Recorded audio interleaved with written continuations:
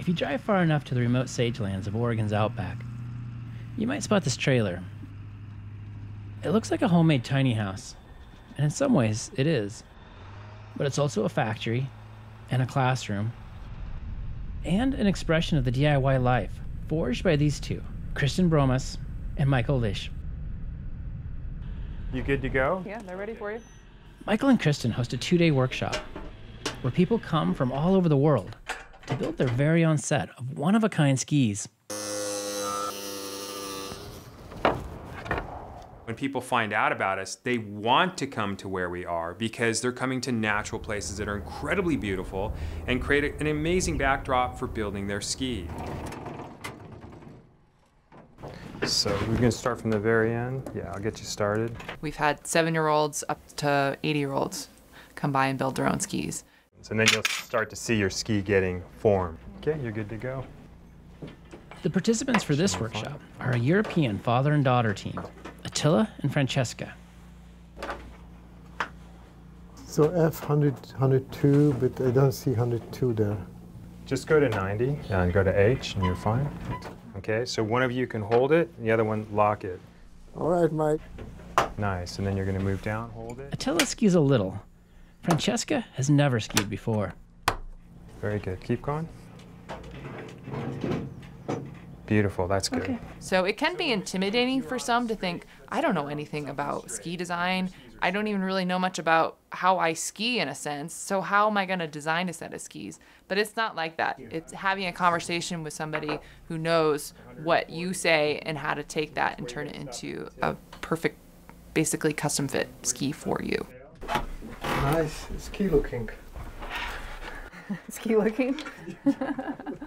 Every part of the process, it gets to look more and more like a ski. okay, so now we need to just put some super glue on these edges. Okay. One of the things that we realized in the workshop is the tools and the process had to be accessible to the participant and safe. You got it? You can go ahead and shoot it, yeah. So yeah, use two hands. Just, yeah, there you go. Don't bend it, you break it. They are part of 90% of the process, and we're right there alongside them, step by step, making sure they don't make any mistakes and making them feel confident and safe. Both of you will help each other when you okay. cut. Excellent.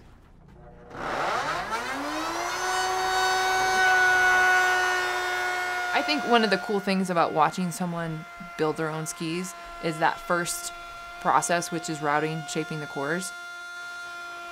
The router is it's a pretty gnarly tool in the sense of what it does. It has a kind of high pitched noise and it's heavy and it's it's kind of awkward. It's not an intuitive tool and most people, unless you're a cabinet maker, really haven't ever used a router, or really even been around a router.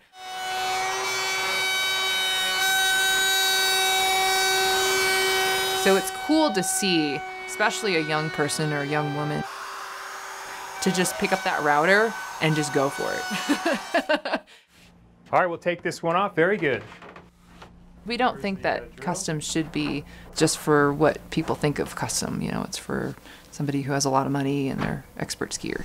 We think that it's just the better way to buy a set of skis. It's just going to be a better experience in the end. Whether you're a first time skier like Francesca, who's never skied before, this, these skis are going to be even more amazing for her her on her first run because she's connected to her skis and now she's going to be connected to skiing on those skis with her dad and it's just going to be this wonderful memory. Beautiful. Michael and Kristin started in California and moved their ski making trailer around the West, eventually settling hundreds of miles from any major ski resort.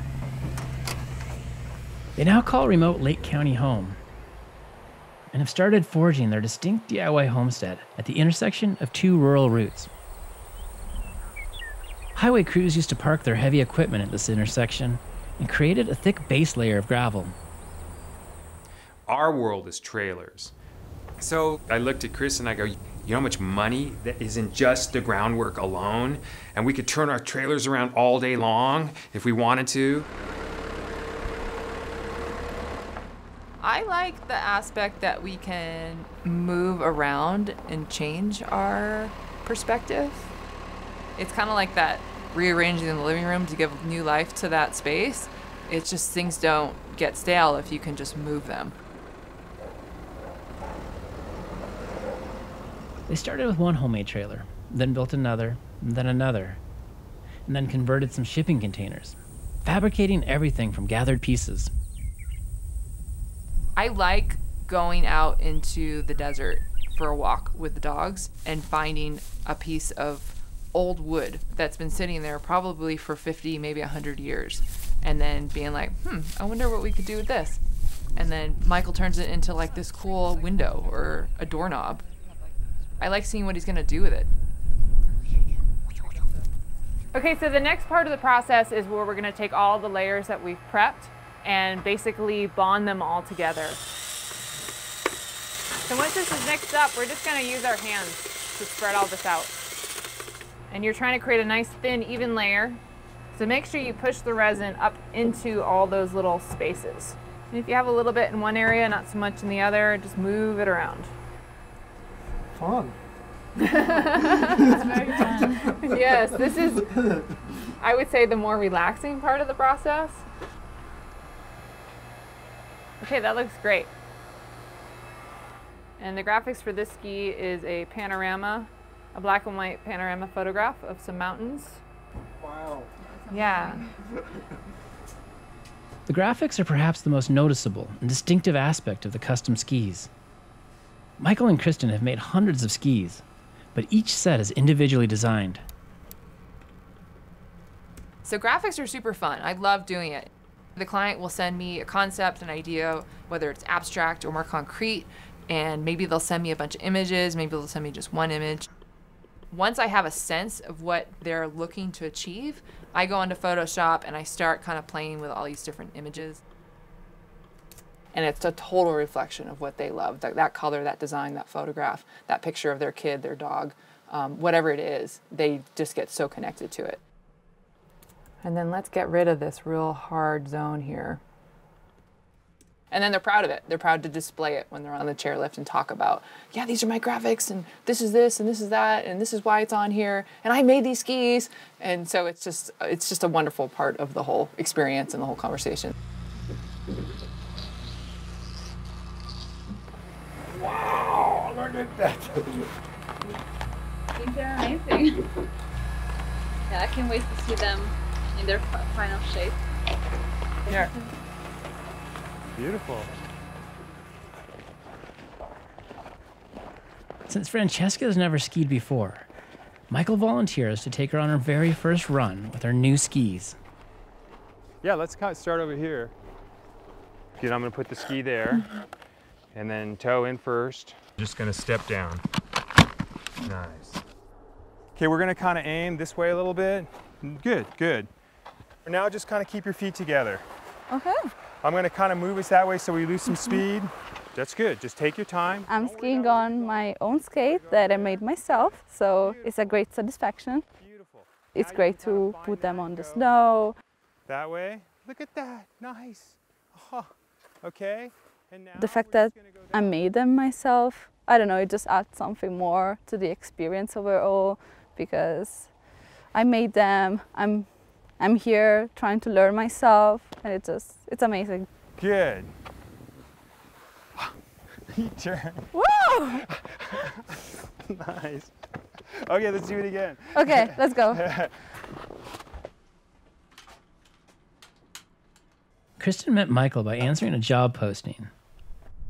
Michael had started making skis in a mobile workshop in Mammoth, California. His business was taking off, and he needed a business manager. Immediately when I first met Michael, I felt very comfortable with him. I felt, okay, this person is gonna, this is where I need to be right now. Okay, that goes here. You know, of course, living in a small space too, people are like, how do you do that if you're not together and you're living in this tiny space? But we just did, it just worked. We just had separate sleeping spaces and we kind of had our own routines and we just figured it out.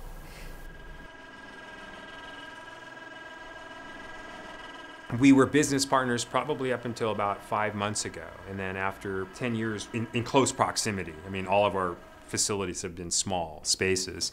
After about six months ago, we, we finally got together. So now we're a couple. Kristin learned ski making from Michael, but she added a new dimension to their business.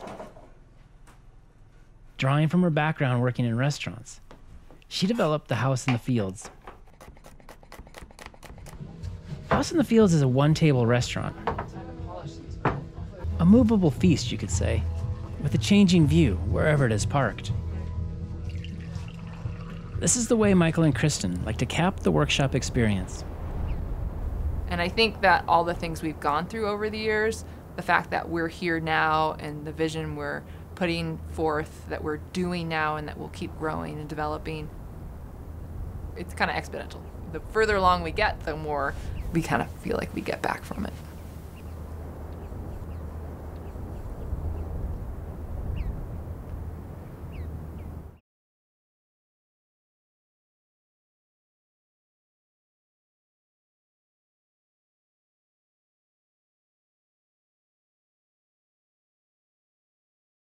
Getting inspiration for your next adventure. It's kind of why you're here, right?